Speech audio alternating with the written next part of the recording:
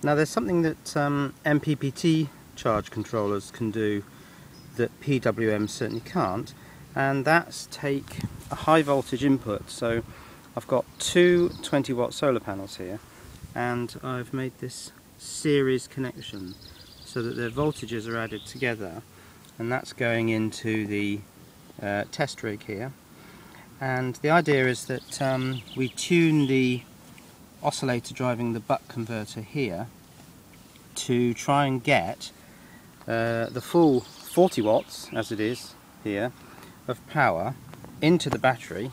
Battery is here. I've got the uh, light bulb draining it down. Make sure the voltage doesn't go too high. 12.4 at the moment. Uh, a 40 watts uh, transfer of power where there's a huge mismatch in voltage because the voltage at the solar panel end is going to be around uh, 35 volts, twice the 17 and a half maximum power point of each panel and the voltage at the battery should be about 12 and a half. So we're expecting the buck converter to do that voltage conversion and of course at the same time as stepping the voltage down it's going to be stepping the current up. Now I've had to make a few changes to this thing uh, in order to do this because uh, this sensor here, the voltage sensor, is only designed to measure up to 25 volts. So you can see I've put an extra resistor in there and uh, modified the software in the uh, computer there, the Arduino, so that it can now measure up to 47 volts. Then on this side, um, this Schottky diode is a replacement for the previous one because that had a reverse voltage maximum of 35 volts. We're going to get very close to that. Um, this one has a reverse voltage of 45 volts. Schottky diodes do tend to have very low reverse voltage capability. Um, and then the other problem, and this remains a problem, I don't know whether that is visible, just about 35 volt capacitor there. Now that's going to see possibly 40 plus volts and I just have to hope that it doesn't explode. I've ordered some 100 volt capacitors uh, so that I can do this um, pretty much with abandon but for the moment I'm just going to be a little bit cautious. So just waiting for the sun to come back out. What have we got? Big black cloud and as soon as the sun's back out uh, we'll give it a go. So it looks like the sun's about to re-emerge. That big lump of black cloud is moving away. The rest of the sky looks reasonable. Yeah, we're going to get a bit of uh, a bit of sunshine for a while. So let's give it a try. So with the pot wound fully counterclockwise, um, I know that the PWM is at 100%. That means that the MOSFET here is 100% uh, on, piece of wire, piece of wire, piece of wire. So the solar panels are linked directly to the battery and we can see that 12.54 voltage on the panels 12.4 on the battery so let's start bringing this pot uh, slowly clockwise and see what we get okay so the voltage starts to climb up 15, 16, 17, 18. So we're up to about 20 watts. Just taking the voltage up. 25 volts. Now the bar graph jumps into a denser mode now. 27 volts, 28 watts. So 35 volts. I've got 31 watts. That's the limit of that capacitor. But I'm just going to push on a little bit. 37 it seems that the power's dropping back, so I'll just ease back a bit. 36, 35, and now I'm just moving backwards and forwards to try and find that maximum power point, and it seems like it's about there. So the peak watts we got was 34.9, we're at 33 volts.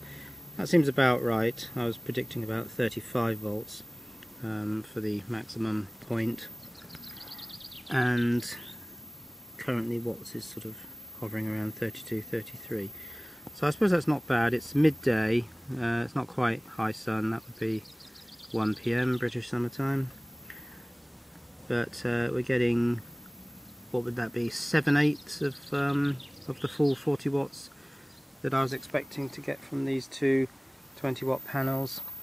Uh, of course, with 33 watts entering the battery and my bulb drawing 20 watts out, we've got a net uh, flow of current into the battery, power, charge, whatever you call it. So the voltage on the uh, battery volt monitor should be creeping up ever so slowly. It's got a net input of about 15 watts. So uh, yeah, I think that's a reasonably good result. Um, it's possible that the buck converter components aren't optimized for this um, large conversion. Also, earlier on I noticed that, yes, and it's happening now. Oh yeah, that's quite hot. The um, inductor's getting pretty hot. What's the diode doing?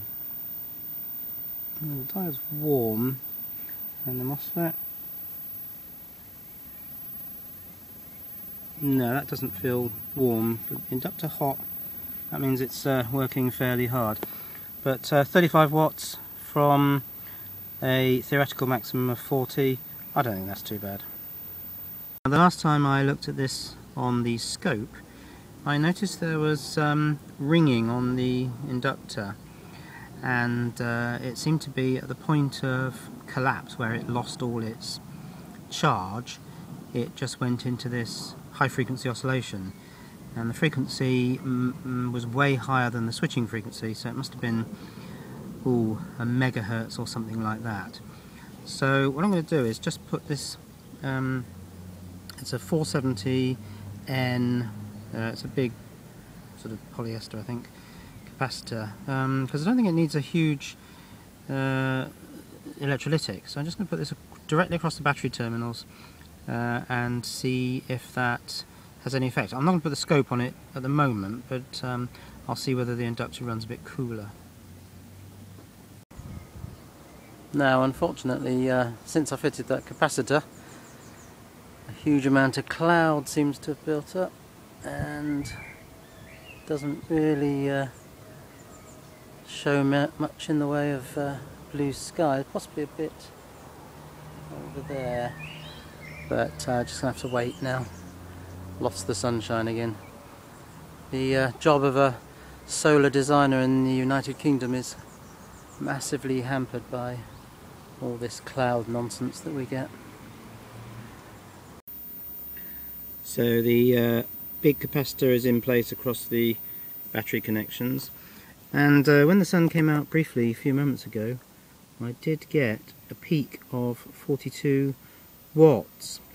Um, so possibly, and we're about an hour after high noon now, uh, so we're about the same distance from high sun. So uh, it's possible that capacitor's helping, although the inductor is still pretty warm, even with only 17 watts running through it. So I'm not sure that capacitor's the complete solution. I won't really know whether that's uh, solved the ringing problem until I get the scope on it. But it looks promising but I'm going to wait till the sun comes out and see if I can get that 40 watts again. Right, I now have a sustained 40 watts, peaking at 42 on here, 32 volts on the panels. Let's see if I can improve on that. That's dropping. That's dropping.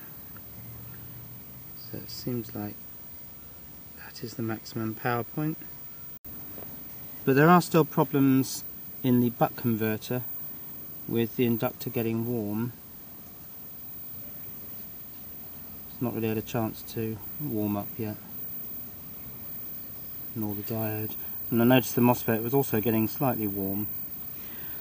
So there still needs to uh, be worked on on that. I think the next thing I need to do is get the scope on this again but it's difficult because the scope has to be indoors because the screen is unreadable outside. And the um, the solar panels, of course, have to be outside and the sun has to be shining. So uh, the conditions need to be right. But that's quite good. A sustained 40 watts out of uh, two 20 watt solar panels into the battery which is now reading 12.8 volts.